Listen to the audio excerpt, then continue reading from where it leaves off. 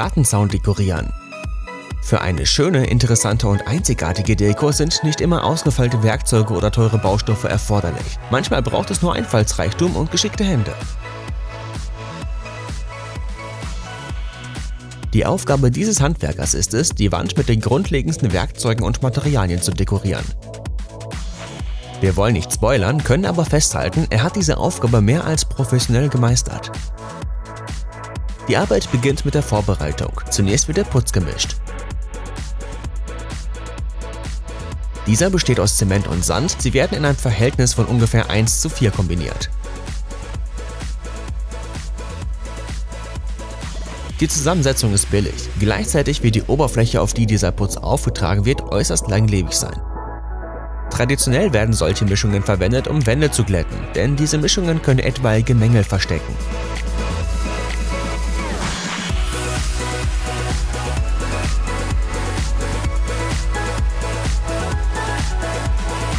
In diesem Fall ist eine gut geglättete Wand aber nicht der einzige Grund.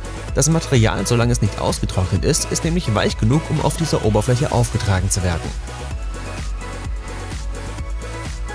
Der Handwerker verwendet einen Holzbalken als Lineal sowie ein Messer. Dies ist vielleicht eine der schwierigsten Phasen der Dekoration. Vom Handwerker sind Genauigkeit und Ausdauer erforderlich, da alle Linien des zukünftigen Musters gerade und gleichmäßig sein sollten. Das gewünschte Muster ist ein diagonal angeordnetes Mauerwerk. Damit das Muster ordentlich aussieht, kratzt der Handwerker den überschüssigen Putz heraus.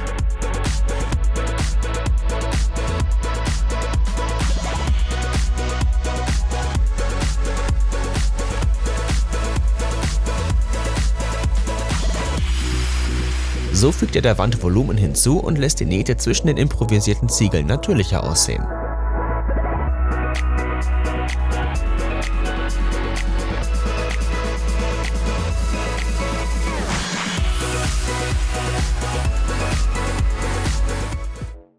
Treppe bauen.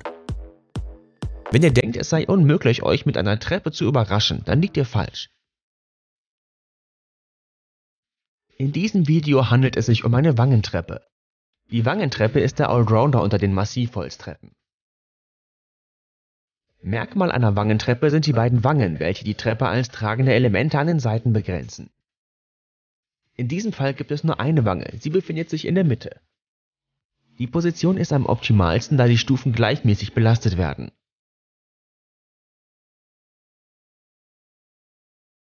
Diese Bauart ist nicht allzu verbreitet, daher ist die Idee ziemlich originell.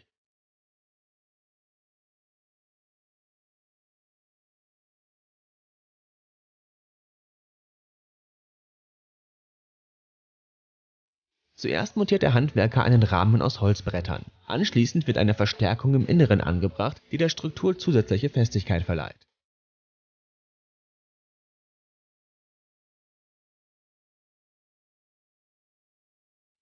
Schließlich wird der Rahmen mit einer Zementmischung gegossen. Wenn das Material fest ist und der Holzrahmen entfernt wird, erhält man eine starke, haltbare und schöne Treppe.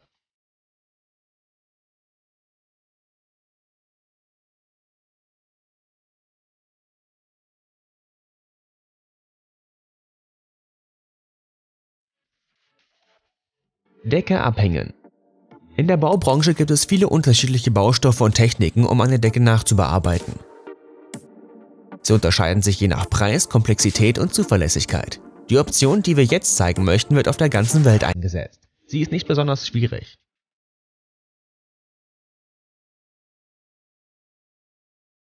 Die Probleme können nur in der Planungsphase auftreten. Schließlich muss man einen Plan zeichnen und dann verstehen, wie und wo die Grundlattung montiert werden sollte. Der nächste Schritt, bei dem die Arbeiter vorsichtig, aufmerksam und konsequent sein müssen, besteht darin, die Idee umzusetzen. Professionelle Handwerker benutzen eine Wasserwaage, Maßbänder und Markierungsfäden. Die Grundleitung wird aus Aluminiumprofilen gebaut. Der Vorteil dieses Materials ist dessen einfache Handhabung. Um einem Metallelement die gewünschte Länge zu verleihen, wird das Unnötige mit einer Zange abgeschnitten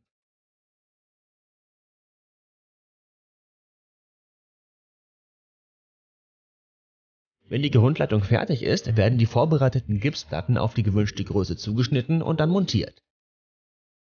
Die Vorteile dieser Methode liegen in der Umweltfreundlichkeit und dem erschwinglichen Preis.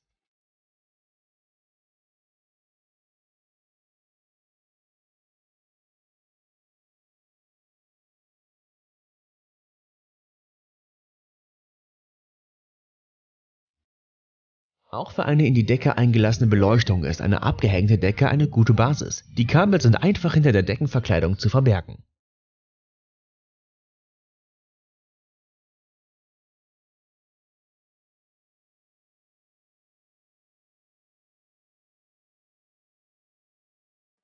Klinkerriemchen kleben.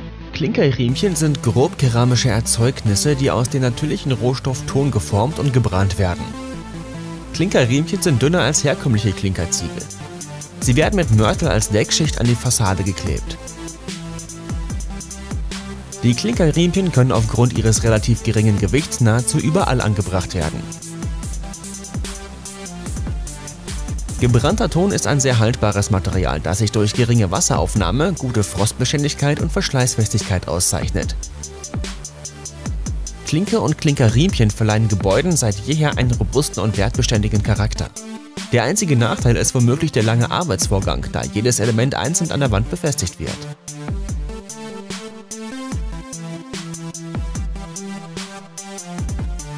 Darüber hinaus muss der Handwerker auch darauf achten, dass die Fugen zwischen den Elementen gleich breit sind.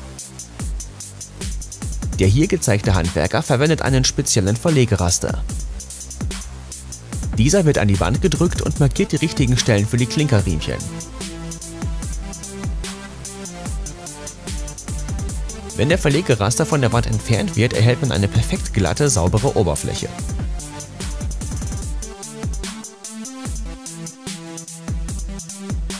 Die Schablone ermöglicht eine beispiellose Produktivität.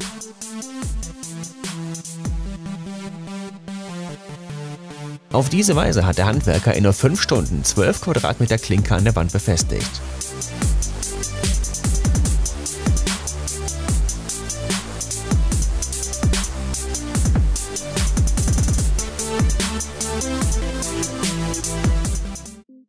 Außenwände dämmen. Bei diesem Vorgang werden die Außenwände eines Hauses gedämmt. Der Baustoff, welcher für diese Zwecke verwendet wird, heißt Graphitpolystyrol. Dies ist ein modernes, umweltfreundliches Material, das sich ideal zur Wärmedämmung eignet. Es kommt vor allem dann zum Einsatz, wenn ein Gebäude einen erhöhten mechanischen Beanspruchung ausgesetzt ist. Oder auch bei zu hoher Luftfeuchtigkeit. Das Material hat eine hohe Steifigkeit. Diese Qualität verbessert die Benutzerfreundlichkeit. Gleichzeitig ist expandiertes Polystyrol so flexibel, dass man ihm auf Wunsch die gewünschte Form verleihen kann. Das überschüssige Material wird einfach mit einer normalen Säge entfernt. Ein weiteres interessantes Merkmal des Baustoffes ist seine geringe Wasseraufnahme.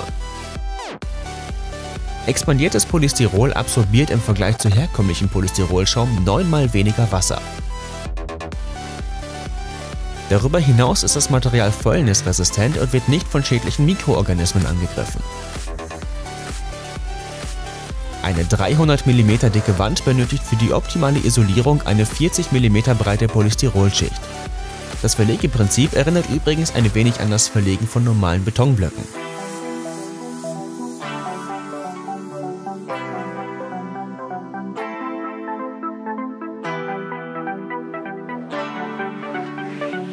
Die Elemente werden mit Hilfe einer speziellen Zusammensetzung miteinander verbunden.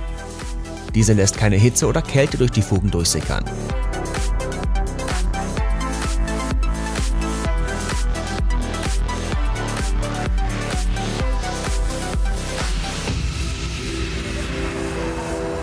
Hey Leute, Schluss mit Faulenzen. Es ist Zeit, das Hirn aufzuladen. Willkommen bei Braintime. Unglaubliche Ereignisse der Vergangenheit, Gegenwart und sogar der Zukunft. Wissenswertes über Natur und Tierwelt. Schockierende Fakten und ungelöste Geheimnisse. All dies und noch vieles mehr erwartet euch auf unserem Kanal. Abonniert uns, ihr werdet es nicht bereuen.